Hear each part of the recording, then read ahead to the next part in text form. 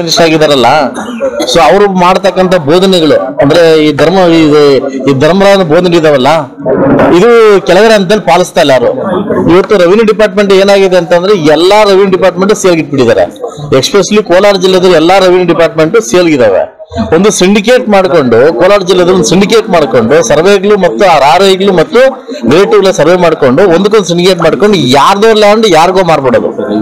ಯಾರ್ದೋ ಲ್ಯಾಂಡ್ ಯಾರಿಗೋ ಮಾಡೋದು ಎಲ್ಲ ಗೋಮಾಳಗಳು ಬೆಂಗಳೂರಿಗೆ ಮಾರಾಟ ಮಾಡೋದು. ಈ ತರದ ಒಂದು, ಎರಡು, ಮೂರು ಅಲ್ಲ, ನೂರಾರು ಪ್ರಕರಣಗಳು ಕೋಲಾರ ಜಿಲ್ಲೆ ನಡೀತೇವೆ ಇವತ್ತು ಕೃಷ್ಣ ಬೈರೇಗೌಡರಿಗೆ ಇವತ್ತು ನಮ್ಮ ಜಿಲ್ಲೆದವರು ಅವ್ರಿಗೆ ಏನೋ ಮಾಡ್ಬೇಕಂತ ಕನಸಿದೆ. ಆದ್ರೆ ನಿಮ್ಮ ಕನಸು ಕೆಳಗಡೆ ನೆರವೇರ್ತಾ ಇಲ್ಲ.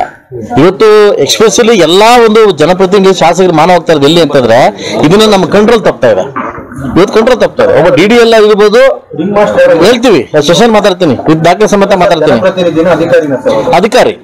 ಅಧಿಕಾರಿ ಮಹಾನ್ ಅಧಿಕಾರಿ ಅದು ಅಲ್ವಾ?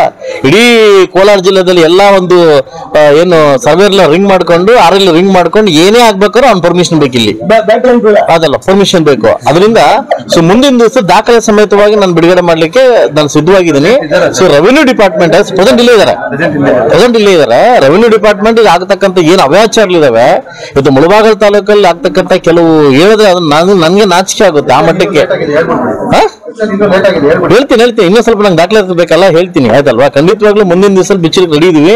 ಇದಕ್ಕೆ ಕೋಲಾರ ಶಾಸಕರು, ನಾವು ಎಲ್ಲಾ ಸೇರಿ ಇದಕ್ಕೆ ಮಂಗನಾಟ ಆಡಕ್ಕೆ ಇದು ಬಚ್ಚಿ ಇದು ಕ್ಲೋಸ್ ಮಾಡಕ್ ರೆಡಿ ಇದೀವಿ.